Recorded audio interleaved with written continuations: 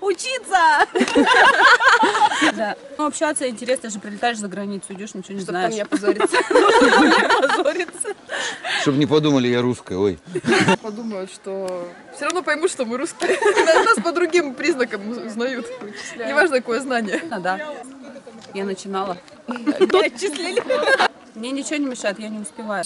Давай, физически не успеваю. понятно. У меня Хорошо. много работы. Дети, учите английский. Он вам в жизни пригодится. Говорим мы. Чем человек младше, тем проще ему запоминать э, слова, языки и прочее. Ну, родители выбирают. Родители могут повлиять на этот вопрос.